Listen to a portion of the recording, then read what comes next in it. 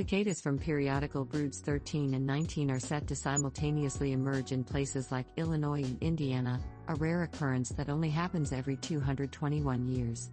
These bugs spend most of their lives underground and emerge to mate every 17 or 13 years on a synchronized schedule. Although they are noisy, they don't pose a significant threat to agriculture as adults, as they mainly focus on mating and do not consume much. Cicadas provide benefits to the environment, such as adding nutrients to the soil and improving water filtration. Despite their loud mating calls, which can reach up to 100 decibels, they do not pose a danger to humans or pets and are not poisonous.